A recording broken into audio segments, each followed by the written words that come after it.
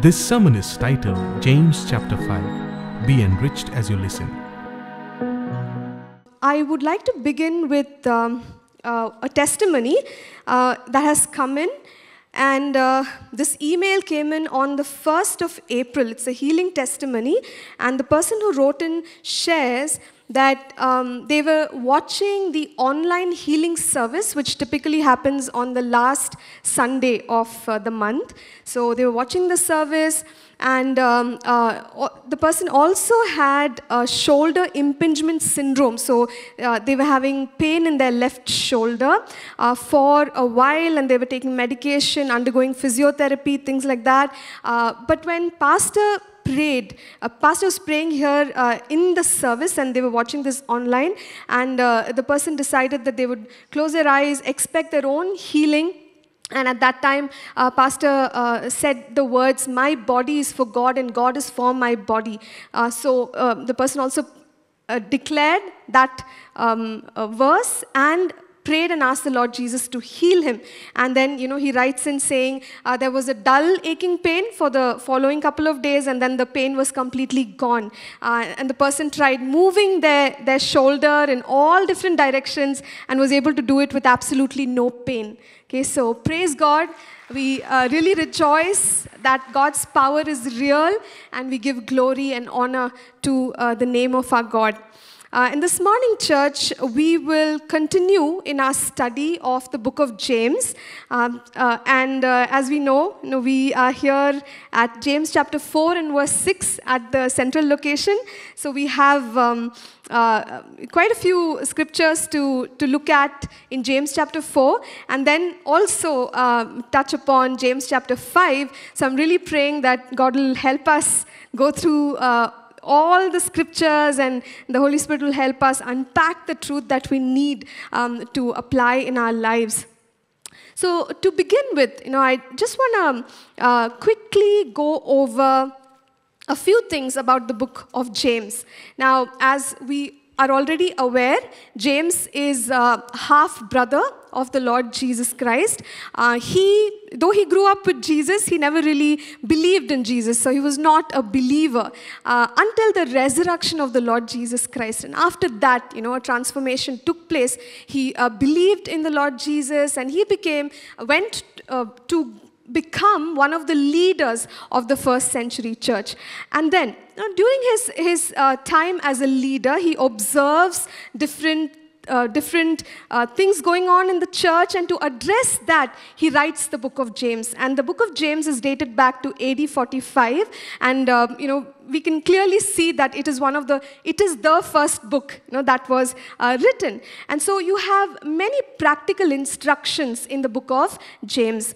We um, went on to look at you know, all, all the uh, three chapters earlier on, and we saw that you know, James was addressing, uh, it, it, seems like there are uh, some independent um, insights, but he's kind of uh, weaved it all together and all the instruction in there is for practical living, and therefore it's helpful for the believers to apply. So in James chapter 1, he talks about trials, and he talks about the attitude that a believer must have during trials. And he says, you know, count it all joy when you go through various kinds of trials. You know, that's the last way we would approach our trials, but that's what James says. He says, count it all joy.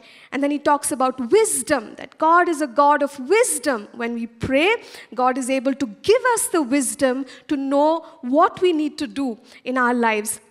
And so he talks a little bit about wisdom. Then he moves on to talk about temptation and how to overcome temptation. And the fact that God is not the author of temptation, and uh, it's really the enemy, and therefore, as believers, we can overcome by the power of God. And you know, he continues on and you know, he, he talks about the importance of not just being listeners of the word, but also being doers of the word. In James 2, he um, goes on to emphasize that there are people of different social classes and settings um, uh, uh you know, in, in the congregation, but no, there should be no preferential treatment to the rich uh, against those who are poor. And so he says that in God's house, everyone is on level ground and people must be treated equally. Uh, he also goes on to talk about the fact that mercy triumphs over judgment. And then he talks about the importance of acting our faith. Faith is impressive, but what is the point if faith does not translate into action? And so he says these are the two sides of one coin.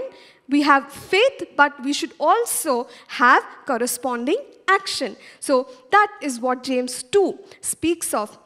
In James chapter 3, um, he talks about the most important member of our human body, which would be the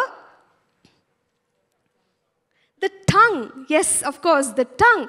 And he says that the tongue is a little member, but it has the capacity to steer our lives in a, a certain direction. And he talks about the tongue in the negative context, and he says that, you know, an evil tongue uh, sets the body on fire.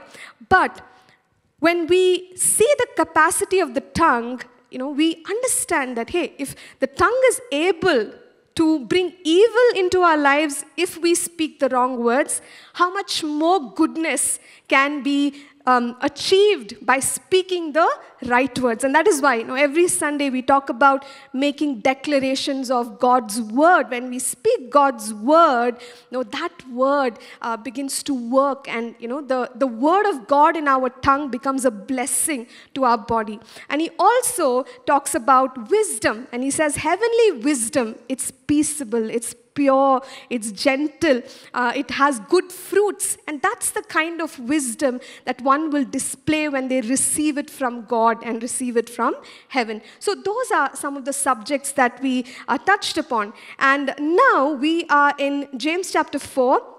And last Sunday, uh, Pastor um, talked about the desires for pleasure. How in the body of Christ, or in this particular congregation, it seemed like there were people who were fighting and warring with one another, and uh, that was really motivated by their evil desires. So, um, and then he says that it's not that we must not enjoy the goodness of God or the uh, pleasures that God has to offer because scriptures do talk about God as a generous God and as a giving God. And He is the one who gives us all the blessings so that we can enjoy in our lives. But the problem is that we tend to ask out of our fleshly desires, and which is what makes it problematic. Uh, but then, you know, he says, as believers, when we have the word of God in our hearts, what does the word of God do? The word of God, it's like a hammer. The word of God, it's uh, the double edged sword. The word of God is the launder's soap. The word of God transforms the inner man. And when we are transformed by the word of God, we are able to pray prayers which are in line with the mind of God. And then you know our prayers are answered and that is the manner in which we must approach god not through our um, the fleshly desires, but through the transformed heart you know, uh, that can only be achieved through the Word of God and the Spirit of God. So now we will begin fr- from verse 6, um, and I will read verse 6. Uh, we generally go through the entire chapter and then, you know, go verse by verse, but since we are already in the middle of chapter 4, I'll just begin with uh, verse 6, and then we'll see how it goes when we come to chapter 5 here. So uh, he says, but he gives more grace.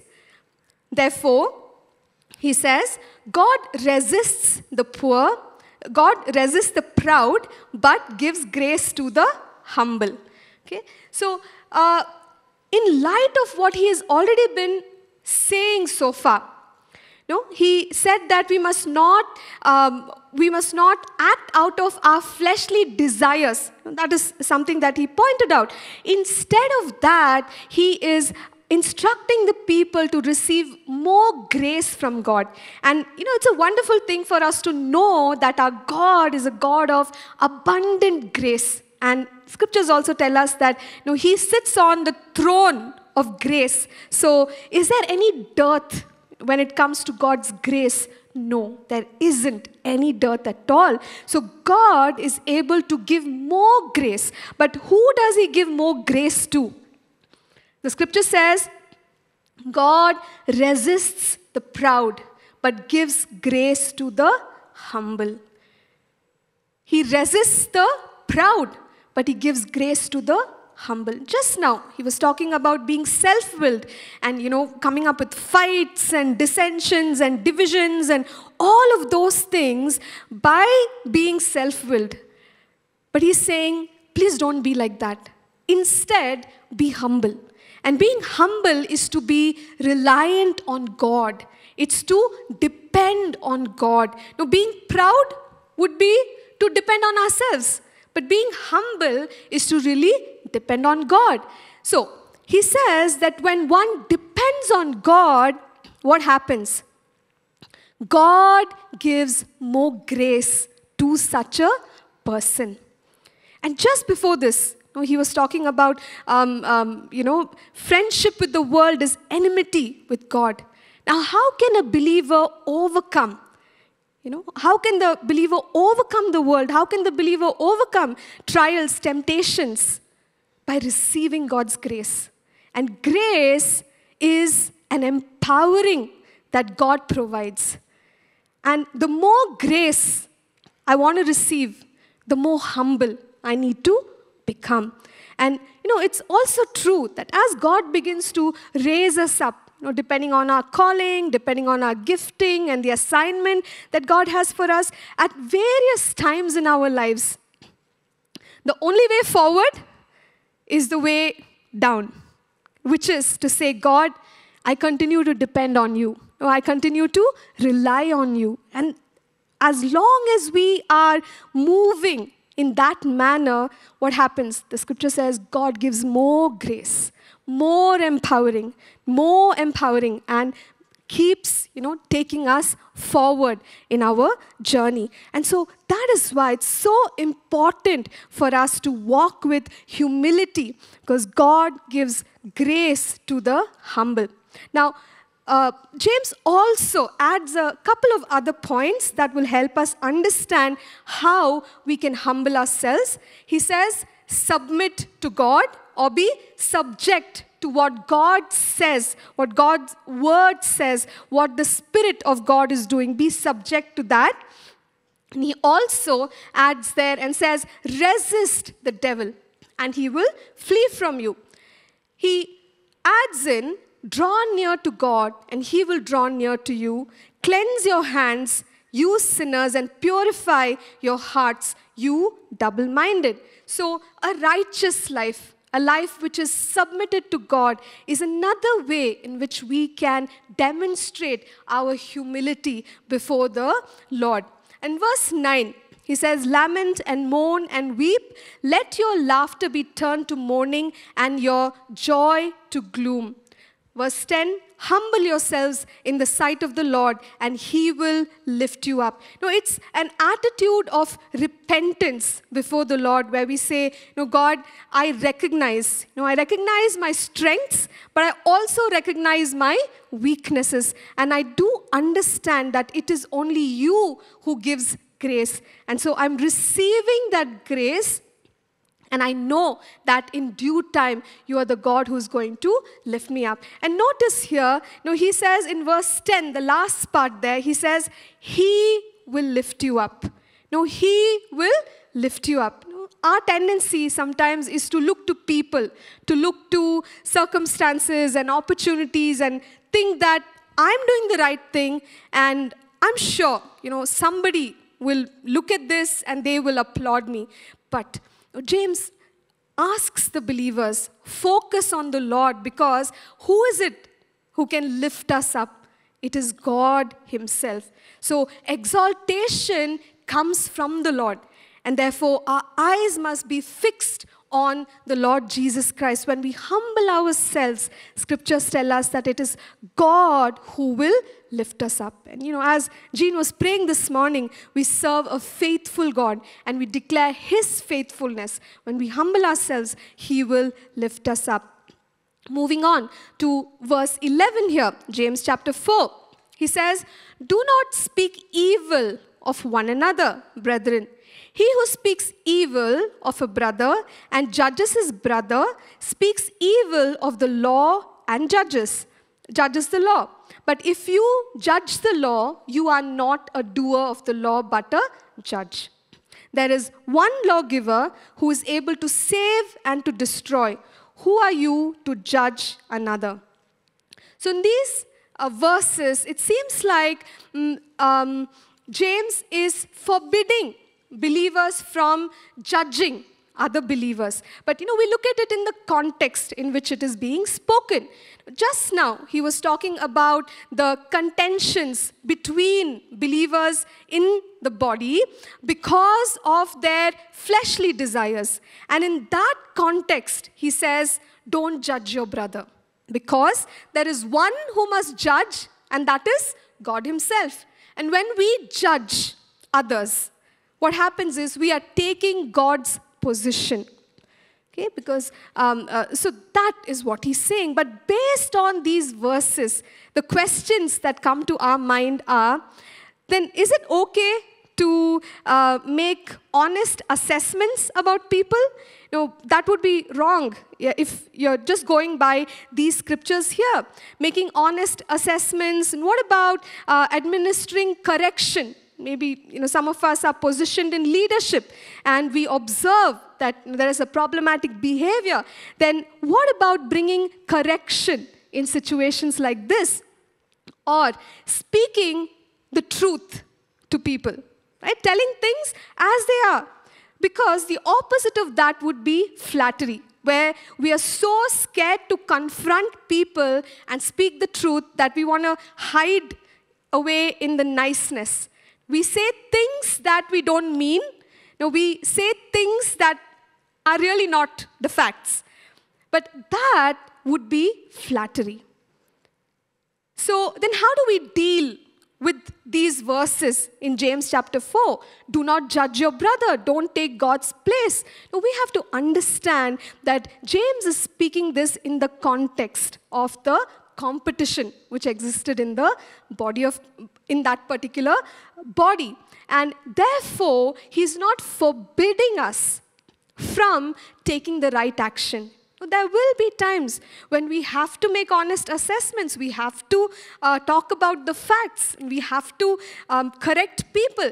But the question is what is the motive that we carry in bringing about that correction?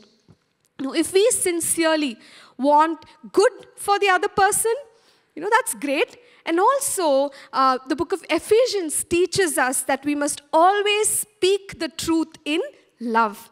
When the truth comes out, but it comes out with harshness, you know, it tends to do a lot of damage.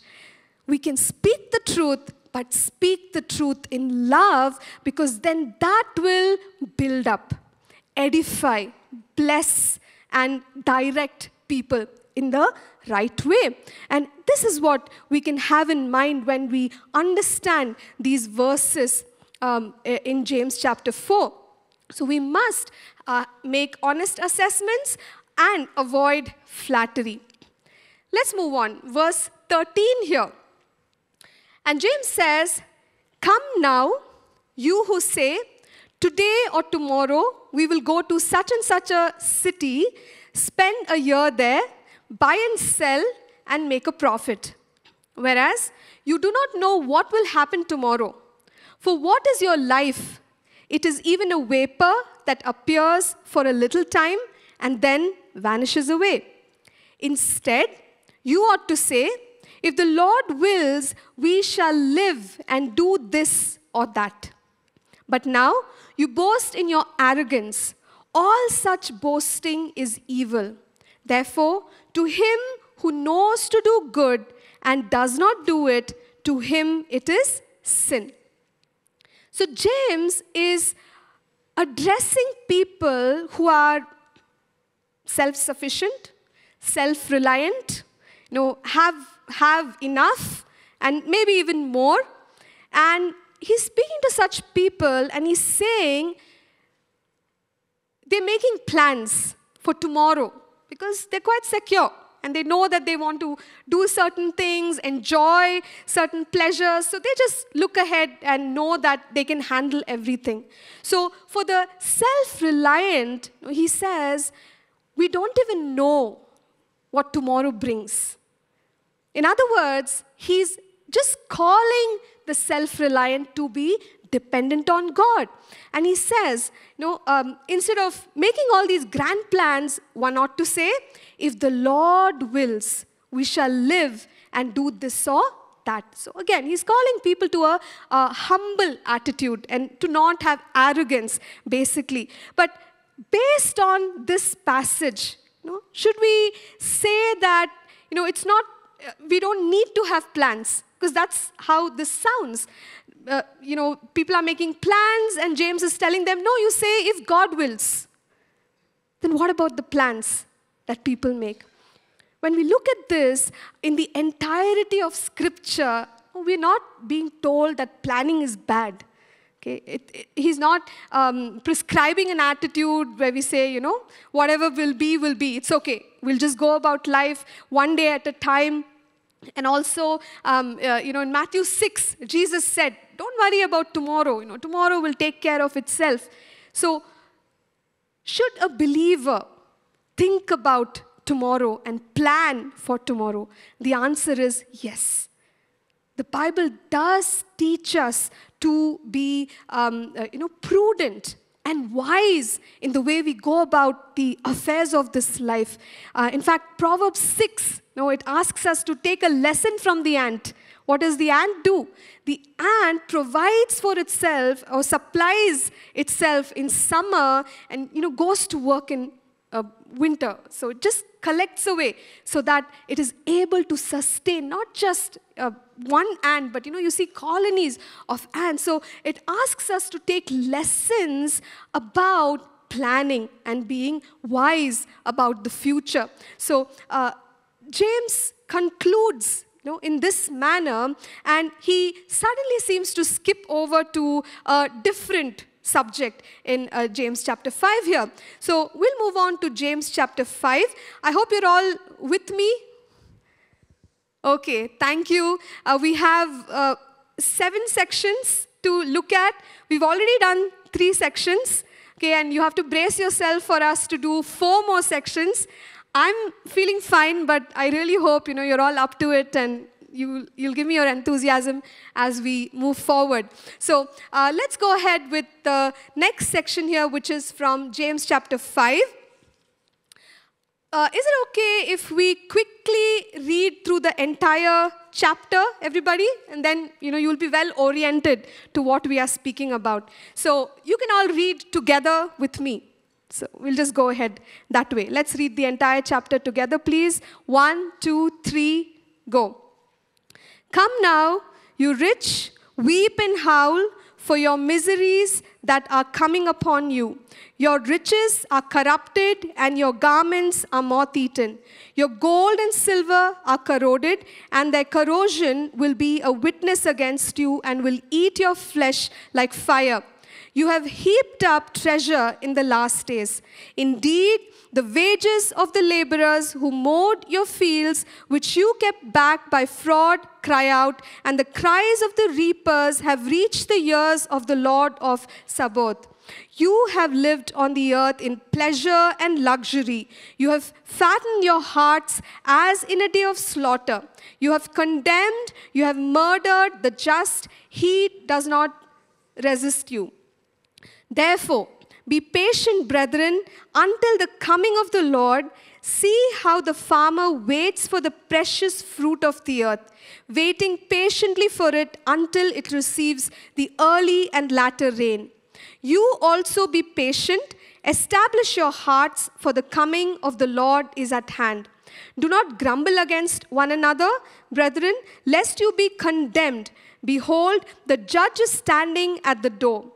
My brethren, take the prophets who spoke in the name of the Lord as an example of suffering and patience. Indeed, we count them blessed who endure. You have heard of the perseverance of Job and seen the end intended by the Lord, that the Lord is very compassionate and merciful. But above all, my brethren, do not swear either by heaven or by earth or with any other oath, but let your yes be yes and your no, no, lest you fall into judgment. Is anyone among you suffering? Let him pray. Is anyone cheerful?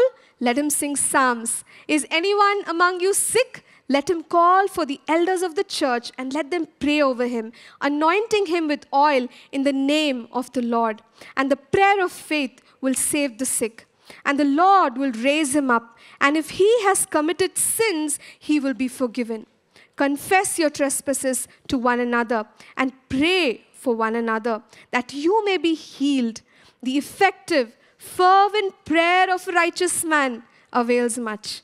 Elijah was a man with a nature like ours, and he prayed earnestly that it would not rain, and it did not rain on the land for three years and six months. And he prayed again, and the heaven gave rain, and the earth produced its fruit. Brethren, if anyone among you wanders from the truth, the and someone turns him back, let him know that he who turns a sinner from the error of his way will save a soul from death and cover a multitude of sins. Okay, so thank you for going through that entire chapter, and now we are ready to look at it in four sections. So the first part uh, of James chapter 5, from verses 1 through 6, now this is where it seems like James is really rebuking the rich now. Okay, and you know, it, it comes across very, very clearly. From verse 1, he says, Come now, you rich, weep and howl for your miseries that are coming upon you. So basically, he's telling them that there is a day of reckoning, or that is the day of judgment, which is coming.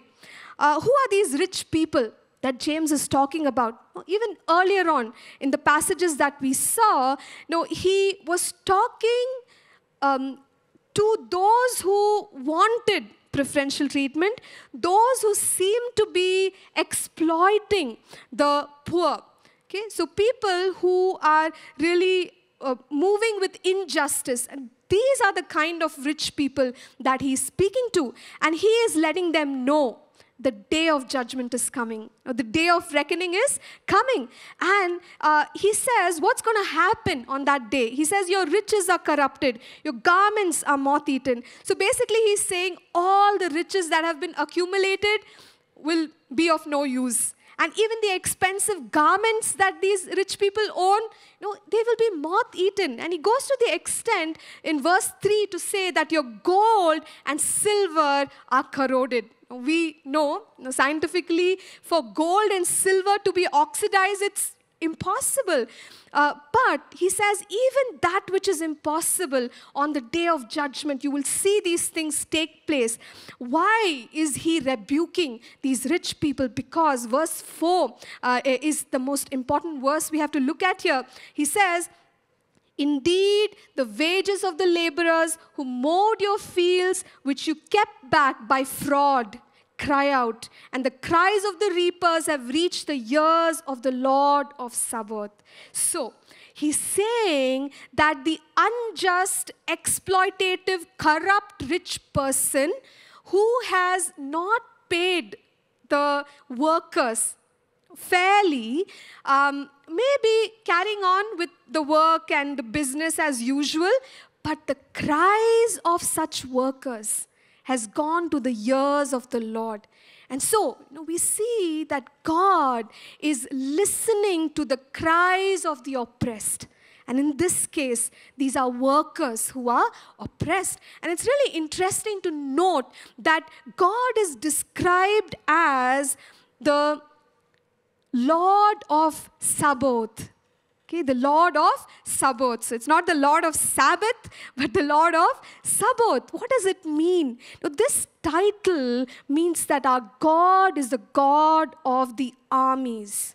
The God of the armies. And in other words, we can say that God is a God who avenges the oppressed. Amen?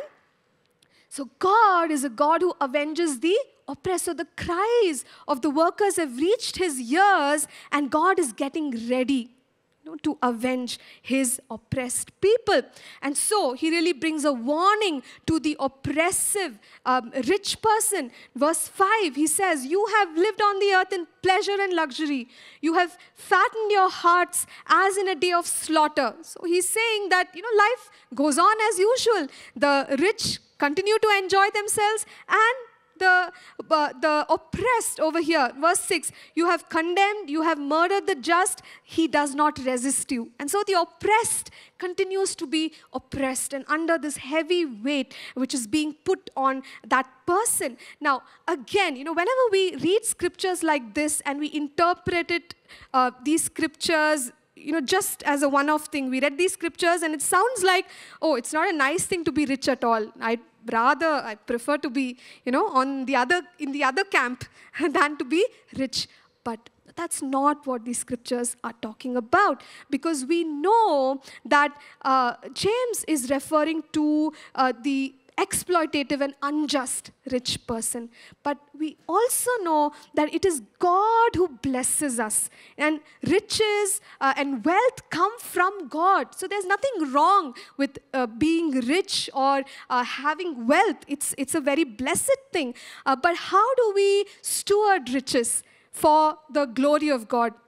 How do we invest riches for the expansion of God's kingdom? You know, that's a whole new subject that we would need to delve into. But one thing that this uh, section of James is not saying uh, is that, you know, it, it's bad to be rich. No, that's not what this passage is saying. Uh, but no, it's just a rebuke to uh, the oppressive rich person. Let's continue now. Now, James switches. He was so far addressing the rich folks, and now he's addressing the oppressed folks. So, from verse 7, he says, Therefore, be patient, brethren, until the coming of the Lord. See how the farmer waits for the precious fruit of the earth, waiting patiently for it until it receives the early and latter rain. We'll read verse 8 also. He says, You also be patient. Establish your hearts, for the coming of the Lord is at hand. Okay, so he's calling the oppressed and he's, he's recognizing the pain that the oppressed is going through. And you know, he, he lets them know, I know you're going through a difficult time, but this is what I want to tell you. He repeats it twice. He says, Be patient. Be patient. And that's the way, you know, you, you go forward in these circumstances. Be patient. Why? Why should they be patient? Know that the Lord's coming is near.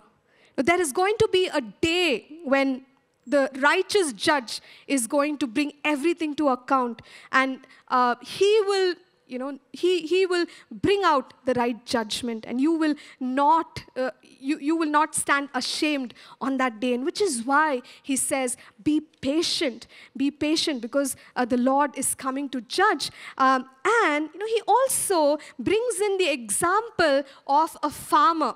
And what is interesting about a farmer is that a farmer is very active know, he sows the seed, and uh, for a season, you know, he, he might be busy with other things, but you know, he's still taking care of the seed that the seeds that he's sown. He's watering them, he's nurturing them in whichever way. He's continuing to be very active and expectant. He knows that at the right time, the harvest time, there's going to be a crop and he's going to have a harvest. And so, learning from the farmer means that when we are enduring, and this is a trial, the oppressed are uh, in a trial. And he's telling them, you be patient and endure like the farmer with an expectation in your heart that you've done the right thing and there's coming a day when God is going to judge righteously. So carry that expectation with you because there will be a right result or there will be a harvest the way a farmer uh, reaps one. And a side note here, talking about the early and the latter rain, know, does not directly imply, however, we can understand in the spiritual sense here that the outpouring of the Holy Spirit okay, in, our, in the end times before the Lord comes back before the return of the Lord Jesus. No, we refer to the outpouring of the Holy Spirit as the latter rain. And in Israel, you know, there were two uh, seasons the sowing season and the reaping season. So during the sowing season, there would be rains to prepare the soil, and then just before harvest, there would be rains to, um, uh, to kind of you know, help with the harvest. Now, when it would rain before the harvest, they would know that it's harvest time and we have to gather. You know, we have to uh, gather all, all the grains. And in the same way, uh, as this, the Spirit of God is poured out uh, in the body of Christ globally, we can trust and expect God to uh, bring about a great harvest of souls for the kingdom of God. And that is something we look forward to. So, coming back to the subject here, you know, he's telling the oppressed, be patient. There is a day coming when you know there will be righteous judgment. Now, let's move on and see what other instruction he has for the oppressed worker. In verse 9, he says, Do not grumble against one another. Brethren, lest you be condemned, behold, the judge is standing at the door. And you know, this tends to be um, uh, what we, we generally do because it's easy to do to murmur, to complain, to talk about how difficult things are. All of this, but address the issue. Now, how much better it would be to deal with the issue directly than to keep grumbling about it forever. And grumbling, murmuring, complaining, you know, very clearly, um, in, in God's perspective, that is not something which He likes. Uh, and we've seen in the Old Testament that there was a people that Moses was leading, uh, grumbling, complaining people, uh, and you know God was furious okay, with their attitude. And even in the New Testament, we are, uh, we are told that despite going through challenging circumstances, we have to maintain that spirit uh, of steadiness, gentleness, and you know, righteous way of thinking and stay away from grumbling and complaining. 1 Corinthians 10:10, 10, Paul writes, nor complain as some of them also complained and were destroyed by the destroyer. And again, in Philippians chapter 2, verses 14 and 15, uh, he says, Do all things without complaining and disputing, that you may become blameless and harmless, children of God without fault in the midst of a crooked and perverse generation, among whom you shine as lights in the world. Now, James also adds in these verses, you know, he says that when we complain, now, what's happening? Uh, we are, um, we don't recognize that the judge is at the door because sometimes in our complaining, you know, maybe it starts off as, I'm going through such a hard time and nobody understands and this is too difficult and all that. But you know, eventually, when we are at it, you know, we could begin to uh, malign others, defame others, discredit others. So, uh, and when this complaining, murmuring carries on as, you know, discussions with other people, though it's not called gossip, it is a form of gossip. And that is why even Paul, you know, he says, just stay away. Stay away from murmuring, complaining. Uh, if you know what would be the right thing to do to address the issue, you'd rather do that than getting into murmuring and complaining. Uh, and you know, don't don't uh, end up doing wrong and it doesn't please God. Verse 11, he uh, talks about the people, the prophets of the Old Testament. He says, Indeed, we count them blessed who endure. You have heard of the perseverance of Job and seen the end intended by the Lord, that the Lord is very compassionate and merciful. Okay, so here he also asks us to just look at examples that can inspire us. And Job is a classic example of a person who went through trial, who went through tribulation, um, and you understand at the end of his journey that God revealed himself as the Redeemer. He revealed himself as the generous God. Because at the end of the book of Job, you know, we read that God blessed him twice. Everything that he had lost, you know, God restored twice to him. But, you know, he endured that trial. He went through uh, the, the difficulties that came his way. So it's an encouragement for us, and especially for these oppressed workers. He says, Come on, just endure. Be patient. Don't resort to complaining and murmuring. Look at the examples of people like Job, because what do we learn from their lives? Perseverance okay? Perseverance or endurance that we are able to keep moving forward and trusting uh, in god. And you know throughout the book of james in fact he uh, paints a completely different picture of how one can go through trials and difficulties. First he said count it all joy. I mean for the world you know this this uh, doesn't sound logical. It's even foolishness. But that's what um, James is saying here. He says, Count it all joy, persevere, and later on we'll see that he, is, he will ask uh, the believer to pray when they're going through a difficult time. So uh, he brings our attention or draws our attention to Job. Now, there is a phrase there. It says, intended by God. Okay, intended by God. And sometimes when we read those lines there, it sounds like God intended for Job to go through pain and difficulty and sickness and all of that. But you know, we know that that's not what uh, uh scripture is saying because in the NKJV it's in italics and that means that the translators have, have put that in there. So it was not there in the original Greek. So uh, we don't interpret this passage to say that God caused Job to suffer. No, God did not cause Job to suffer. It was Satan who caused Job to suffer. Now let's move forward. Now that you know, he's been give, instructing uh, the, the workers on what to do, the last instruction he adds here, he says, do not swear. Okay, do not swear. Now, why does he say do not swear? Verse 12. But above all, my brethren, do not swear, either by heaven or by earth or with any other oath, but let your yes be yes and your no, no, lest you fall into judgment. So he says this because um, in those times there were very religious Jews who had, um, uh, you know, a way of making the oath. So they would make an oath uh, in, a, in a certain way. When they say it in a certain way, it means that they will keep it 100%. But another oath, you know, the way they would say it, uh, it was implied that they wouldn't keep it 100%. Okay, so they had all these double standards. Even in swearing by, you know, they would take different names.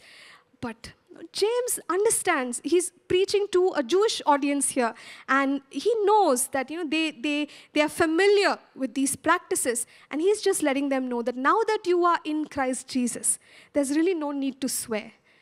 Instead, we can just speak sincere words. He's already talked about the power of the tongue and um, you know the, the words that are released, how they steer the course of one's life. So he's saying, let your yes be yes and let your no be no. So just simple, honest, sincere heart and the words that come out of that heart should be good enough and there is really no need for, for you to swear by anything let your yes be yes and let your no be no even if you're under pressure just keep it simple keep it sincere and honest now let's move on to verse 13 here you know, he's continuing. You know, he talked about uh, persevering under trial. So he's continuing um, in, in that uh, same uh, you know, in, in line with that, verse 13, he says, Is anyone among you suffering?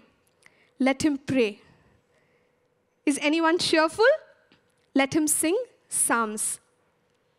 Is anyone among you sick, let him call for the elders of the church and let them pray over him, anointing him with oil in the name of the Lord. And the prayer of faith will save the sick, and the Lord will raise him up. And if he has committed sins, he will be forgiven. And he moves on to uh, verse 16, where he talks about confessing one's fault. So he says, Confess your trespasses to one another and pray for one another that you may be healed. The effective, fervent prayer of a righteous man avails much. And he takes the example of Elijah. Elijah was a man with a nature like ours, and he prayed earnestly that it would not rain, and it did not rain on the land for three years and six months. And he prayed again, and the heaven gave rain, and the earth produced its fruit. So, in continuation you know, of uh, this encouragement to those who were oppressed, uh, he, he says, okay, come on, you, you can add another thing. Don't complain, don't swear, uh, be patient, and all of that.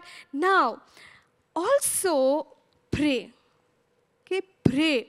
Uh, and speak to God. And that's exactly what he said even in James chapter 1. He said, if you lack wisdom, what should we do? Ask God. And God will give it to us. And asking God is prayer.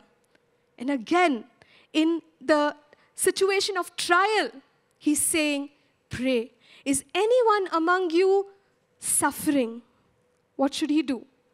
Pray. And is anyone cheerful? He says, Let him sing psalms. Again, you know, it's basically our expression uh, uh, unto the Lord in any given circumstance. But notice it's all about relating to God. You pray, you sing songs, which is also worship and directed towards God. And in verse 14, he says, If anyone is sick, then what should such a person do? Know, uh, call for the elders and ask them to pray over the sick person. Now, just you know, uh, sort of going back a little bit and coming back to what James says if anyone is suffering, pray. Why pray when we are going through a difficult time? How does it help to pray? Uh, we might as well do something and fix the situation. Now, doesn't that sound more um, practical? Why should I take time to pray? Earlier he said, You rejoice. Now he's saying, Pray. Because when we pray, what happens? we are waiting upon the Lord. And this, there are, there are many things that happen when we pray. When we pray, scriptures say, they that wait upon the Lord shall mount up with wings as eagles. So, what is God doing? God releases strength into our inner man. As we wait on the Lord in our difficult times, there is a divine exchange taking place. You know, God's strength is filling up and you know, covering up the weaknesses which we carry within us. And that is why it's so important as we're going through uh, challenging circumstances. Maybe the first thing that all of us should think of doing is pray. Hey, let me take a moment. Maybe at our workplace, we may not have a special room to go to, but you could just you know, move away to a corner and say, God, this is what is going on, and I'm just calling upon you right now. I'm praying. I don't know what to do. And in those moments, we know that God's strength will be released to us. And not just that, you know, there are many um, outcomes when we engage in prayer. Prayer also is a, a you know, a, a wonderful way of unburdening our hearts. Uh, what happens in unburdening? You know, we go before the Lord, and as the psalmist says, I pour out my heart. Now we are able to release. Maybe we are carrying anger, we are carrying, uh, you know, uh, all these complaints. It's just good to go before the Lord and say, God, you know, all these things are burdening me. I'm anxious, I'm fearful, I'm confused, and I'm just pouring out my heart before you. And we know that God releases His peace, His shalom, and floods our hearts, uh, you know, with, with what only He can do. So when we pray, that is why James is saying, just pray. If you are suffering, pray uh, because you can receive God's strength. You can unburden your hearts. And also, uh, in prayer, we know that it's a two way. conversation. We cry out to God, but here's God also speaking into our situation. We might receive uh, a prompting from the Lord, you know, or we might uh, um, just remember a scripture verse in that moment, or we might just sense that, hey, I need to get up and I need to go do this or that. So God speaks back to us. He connects back to us and shows us what we need to do. And that is why James said, if you lack wisdom, pray. Just ask God. He will tell you what to do. And you know, through prayer, God can intervene in our lives and in our situation. And prayer is a wonderful way uh, for us to also engage in um, the spiritual realm and release the authority that God has given us. So, prayer, prayer is just um, something that, that is going to show us the glory of God in the midst of that challenging situation. And that is why you know, James says, if you are suffering, you pray. Now, let's move forward here uh, we will go to verse 14, where he says, If anyone is sick, then call for the elders of the church and pray. What exactly happens, you know, if, if this is done? He says, Let them pray over him, anointing him with oil in the name of the Lord. So, the focus of this this um, act of the elders praying over a sick person. It's in verse 15, the beginning of verse 15. It says, And the prayer of faith. And the prayer of faith. What will it do? It will, what will it do? It will, yeah, it will save the sick, and the Lord will raise him up. So when somebody is sick, there is an action of faith, which is praying over that person. How does oil help? Oil is just a representation of the presence of the Holy Spirit. So, you know, that is why we sometimes take oil and we place it over a person and we pray in the name of the Lord. That's what uh, verse 14 says.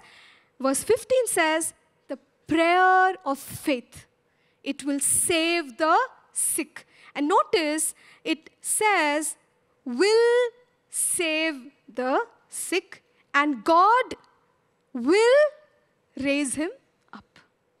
And that is the power of the prayer of faith. When we pray with faith in the name of the Lord. Now, in some situations, maybe you know, there are no elders uh, uh, at, of the congregation present around, it doesn't matter. Pray the prayer of faith. Pray the prayer of faith over the sick. And what God promises is healing um, because of the work of the Lord Jesus on the cross of Calvary. And that should be our faith and that should be our expectation. And verse 16, now he goes on and, and he says, Confess your trespasses to one another and pray for one another that you may be healed. Again, Another way of receiving healing of the heart and sometimes even healing of the body is to confess our sins. Now, confessing our sins, this has to be done with a lot of wisdom. This has to be done with a lot of wisdom. Maybe in certain circumstances, uh, you know, we're carrying this burden. Though we've prayed for forgiveness, we don't sense a release yet. It will help to share it with, um, a, you know, an, a, a more mature person in the Lord and have them pray for us. And that should be okay. And you, we will see a freedom and a release when we do that. And there are certain other situations where, you know, one person might have wronged the other person. So it makes sense to just go to that individual and sort of, you know, make restitution, confess, and, uh, you know, pray for one another. And even then, scriptures promise us that healing comes and God is able to do his work. In verse 7, he goes to the example of Elijah. I'll just call upon the worship team if you could please come and uh, get ready. He talks about Elijah. Now, so far, you know, he has talked about persevering under trial, and uh, he talked about praying and how we should pray. And he's going to add to the manner in which one should pray.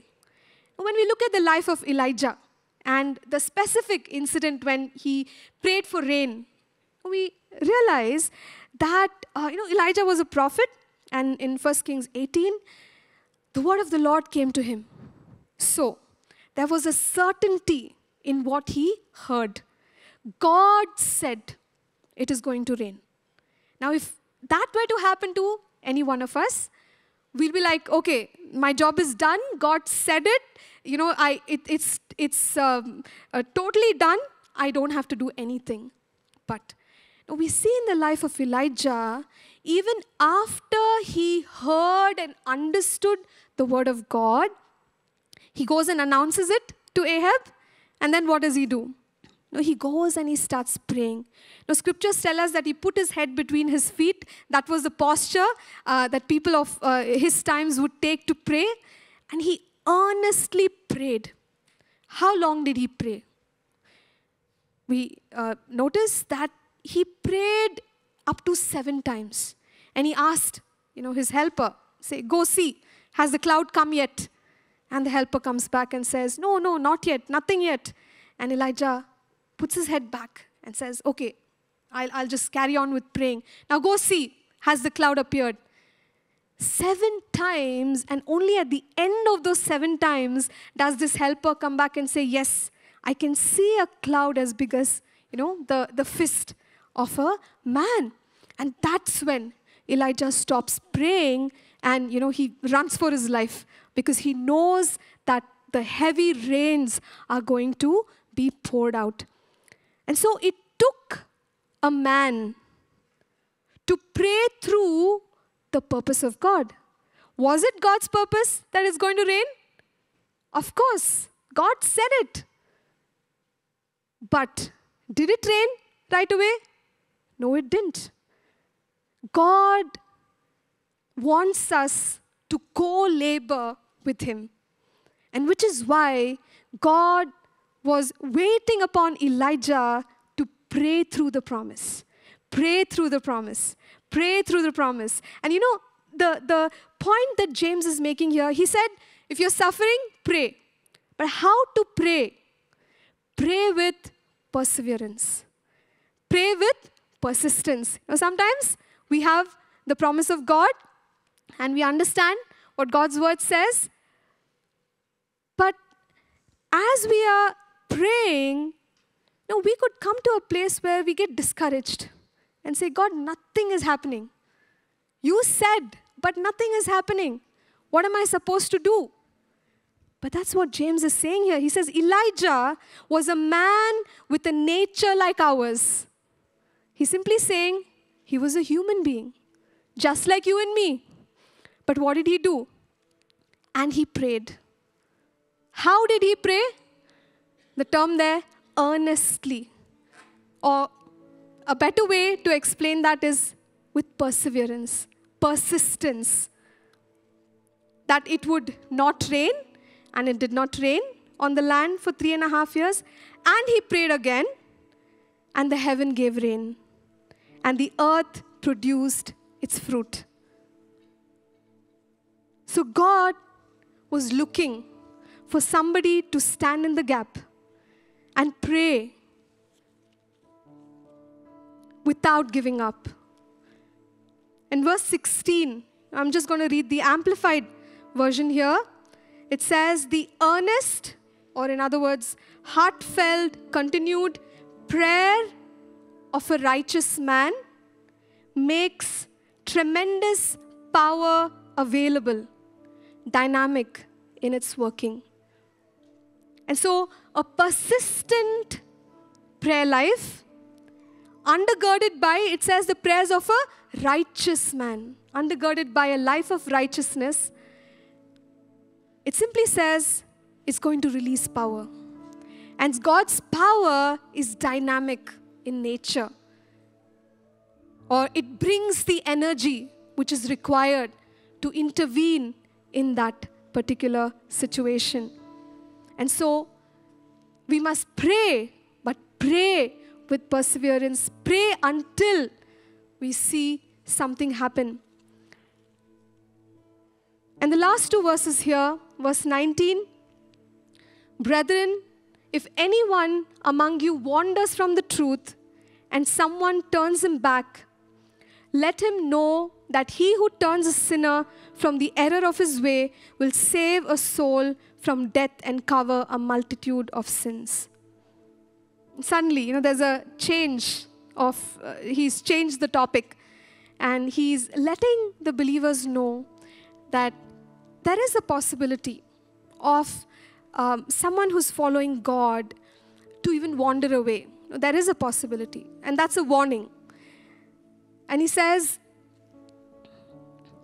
when such a thing happens, you know, we should be there to help people who have wandered away to come back and align themselves to the truth of God's word.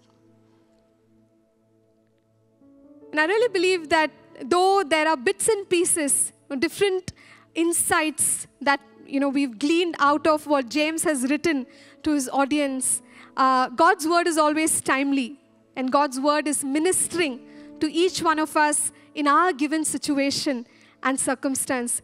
So we're going to take a few moments to just worship the Lord this morning. Uh, I'll hand this time over to the worship team. Just come back and uh, lead in a time of ministry.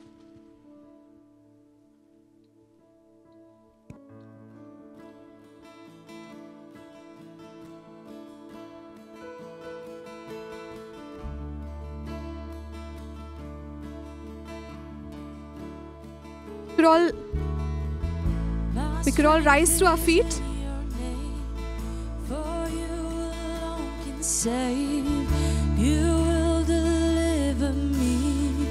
Yours is the victory. Whom shall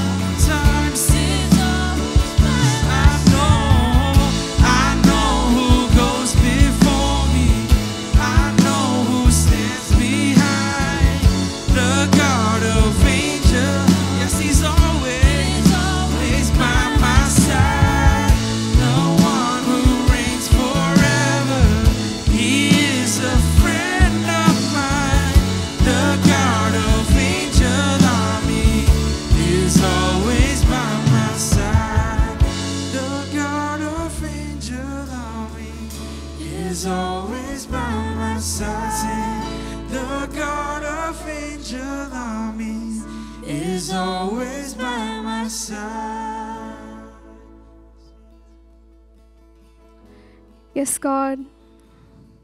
Father, we thank you that, Lord, your word says, if God be for us, who can be against us? And this morning, God, that is our confidence.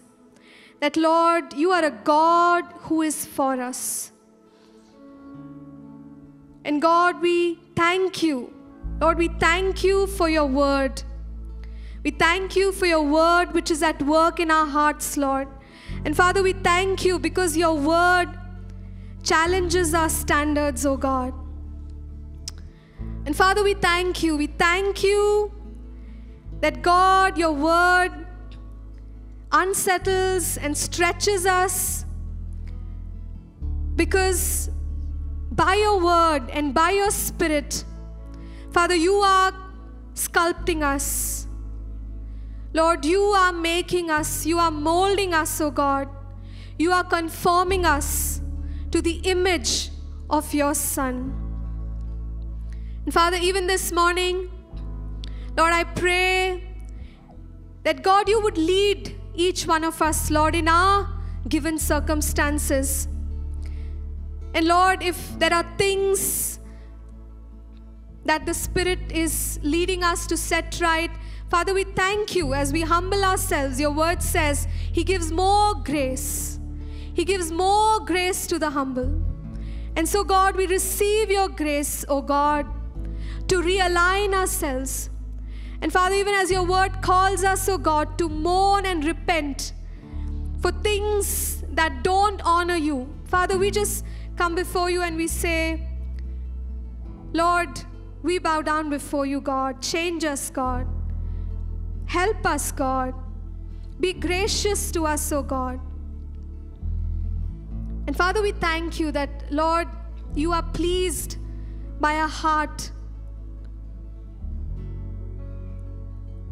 that is willing to realign to the standards of your word.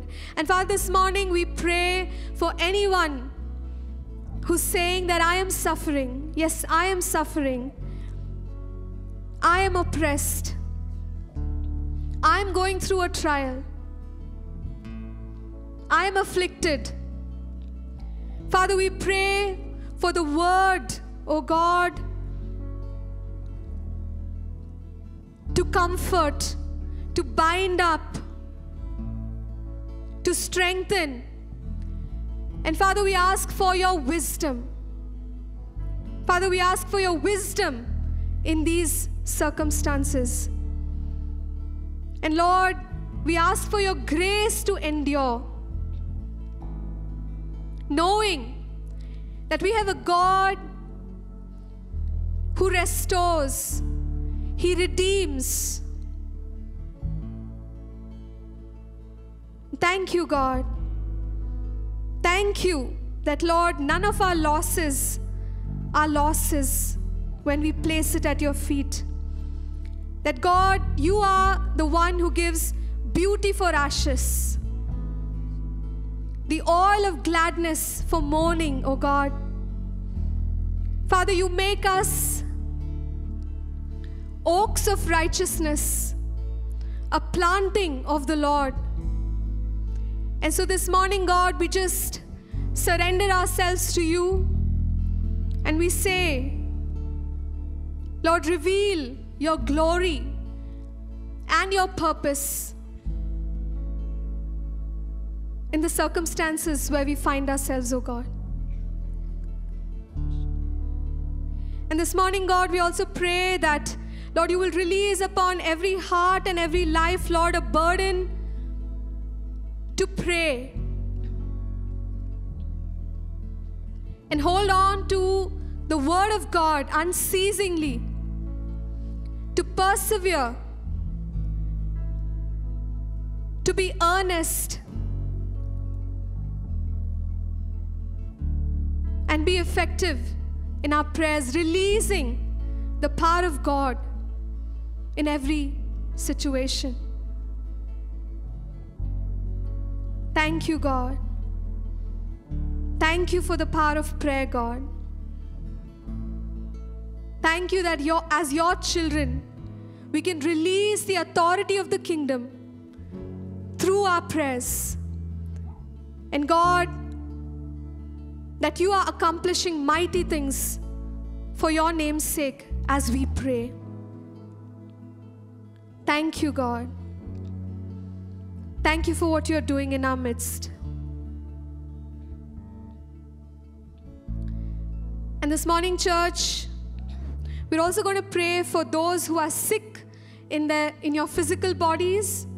I just want you to lay your hands on yourself. I know we're still wearing masks and maintaining social distance, so I'm not going to ask others to come and lay hands on you, but you can lay your hands on yourself.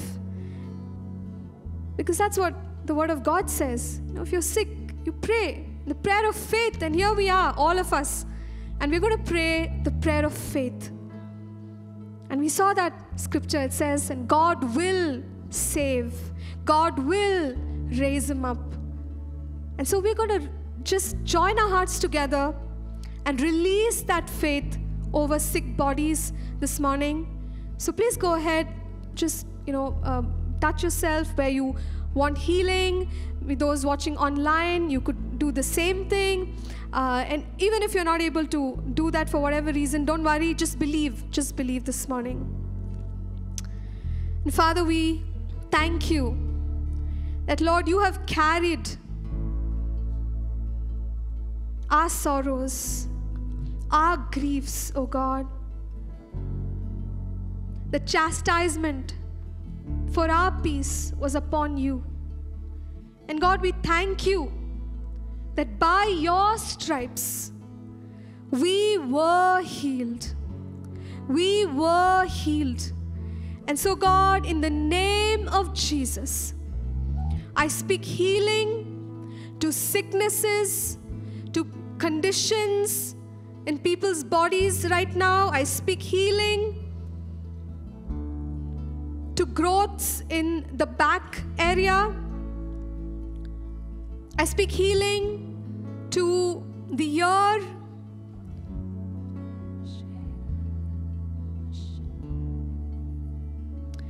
I command healing to those who are struggling to stand up, struggling to stand up. Command healing in that situation. I speak strength to people's feet right now in Jesus' mighty name.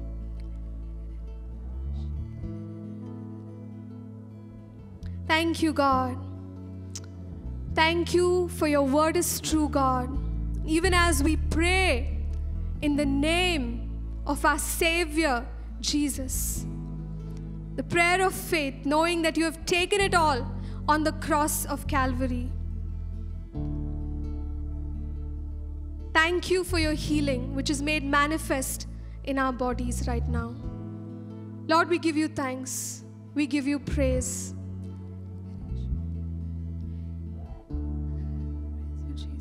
Just for a brief moment, I want to ask if there's anyone um, you're instantly feeling better. If you could testify to that, just raise your hand, indicate that would be excellent. And I know some healings take a while. You need to check it out. That's okay. But if there's anybody you say, hey, I can feel the difference, it'll be nice if you could share.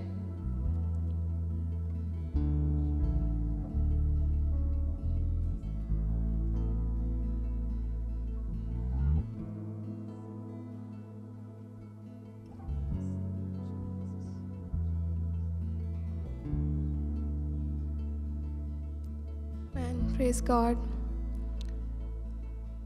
So you could let us know. Maybe you want to check it out. You can email us and let us know what the Lord has done for us. I just want to go ahead and pray one more prayer. So uh, let's pray together.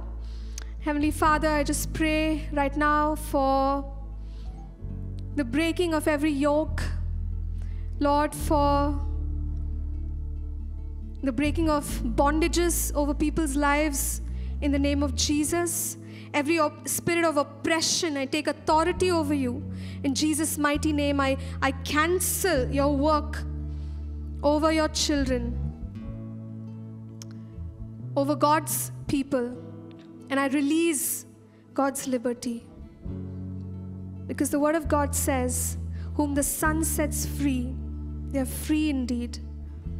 The Spirit of God is a spirit of liberty. We declare that. Father, we ask for the working of miracles in people's lives, that God, there will be breakthroughs, and Lord, that your mighty power will be seen, O God, for the glory of your name. Lord, we just thank you. We thank you for what you're doing right now. Lord, we give you praise and glory. Thank you, Jesus. And I also just want to ask anyone if you've never um, acknowledged the Lord Jesus as you know God, the Son of God, uh, and that you didn't know that He's the one who has come to forgive your sins, to cleanse you from every unrighteousness and make you a child of God. Today, I just want to give you an invitation. I want to let you know that the Word of God says that God loves you. Right? While we were still sinners, Christ Jesus died for us. Romans 5 8. And that's the kind of love with which Jesus loves you. And this morning, you can just go ahead and pray a prayer together with me. And uh, we know that scripture says when we believe in our hearts and confess with our mouth the Lord Jesus, we are saved and we become children of God. So I just encourage you to pray together with me. Just repeat after me Dear Lord Jesus, thank you for dying on the cross for my sins. Forgive me. I give my life to you, Lord. Thank you for making me a child of God and help me to live for you from this day forward. In Jesus' name, amen. Man, and if you have prayed this prayer, then you know we would like to um, uh, get in touch with you. We have some resources uh, that we would like to give you. So please uh, do let us know. Maybe you can put it on the chat if you're uh, viewing online, or you can just come uh, meet us here uh, uh, right now near the stage area. I will be happy to meet with you. Some pastors will be here to pray as well. So anyone who needs prayer, please do come forward and um, you know meet with us. we will get ready and close this morning service. Uh, let's just pray one last time. Heavenly Father, we thank you for your presence in our midst, O God. And Father, we thank you for the word, Lord, which you have spoken into our lives this morning. Father, we pray that, uh, Lord, day to day, Lord, that we will keep moving forward with you, Lord Jesus. Thank you, Abba. We give you all the glory and honor. In Jesus' name we pray. Amen. Amen. And may the grace of our Lord Jesus, the love of the Father, and the sweet communion of the Holy Spirit rest and abide with us now and forever. And everyone said, Amen. Amen. Thank you for listening. We trust this message was a blessing to you. For more free resources, including sermons, sermon notes, and books, please visit apcwo.org.